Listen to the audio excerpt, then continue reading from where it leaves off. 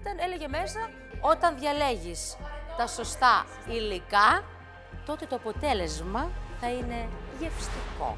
Αλλά αποτέλεσμα γευστικό με την ξυνήλα της Ατζελίνας είναι λίγο Βρε, θα σχήμα δείτε. οξύμορο. Θα δείτε και θα πάθετε σοκ αύριο. Δηλητηρίαση θα πάθω καημένο ο Παναγιώτης.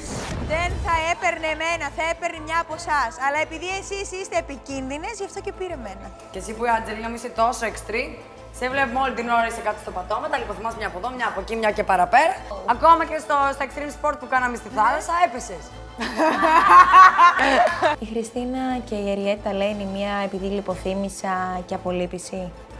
Κορίτσια μου, παραδεχτείτε το ότι ο Παναγιώτης ψάχνει αιτία και αφορμή για να με δει. Ατζελίνα μόνο, ελπίζουμε να γυρίσεις χωρίς τριαντάφυλλο.